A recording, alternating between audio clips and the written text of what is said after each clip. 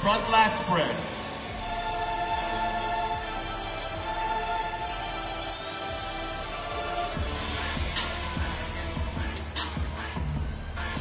Side chest.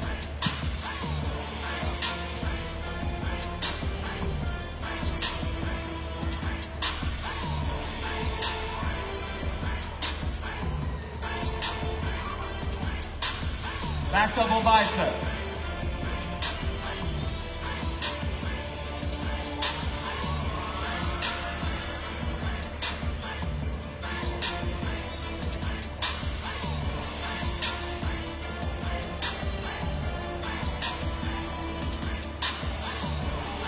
Lat spread.